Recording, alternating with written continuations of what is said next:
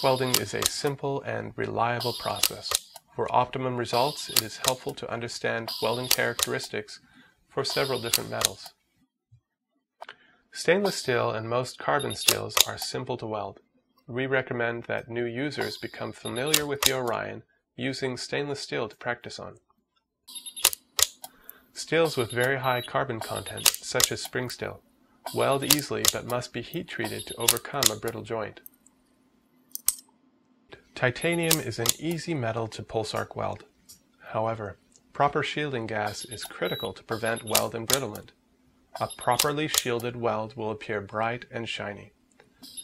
Aluminum requires low peak welding energy, but a longer pulse length. Excessive energy will push the weld metal around. Increasing the electrode tip flat will increase the maximum power that can be used. Copper welds well using Sunstone pulse arc welding technology. Retract the welding electrode as soon as possible to prevent copper contamination to the electrode. Even unusual combinations such as titanium to niobium can easily be accomplished. Difficult metal combinations such as titanium to gold can be accomplished easily.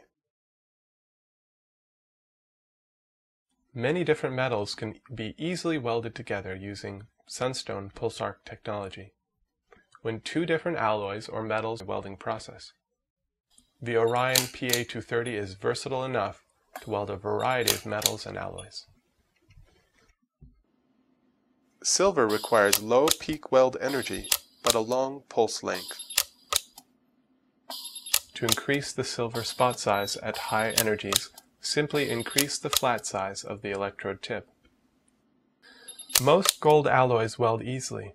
However, white gold requires careful attention to the electrode condition. Poor electrode condition tends to create porosity. Even a pristine electrode may create some porosity from the welding process as zinc evaporates from the weld puddle. Simply re-weld over the old weld location to correct this porosity. Niobium metal behaves much like platinum.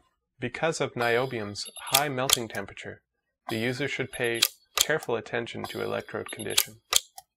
When welding brass, the weld location will often turn black because of the high zinc content of the alloy.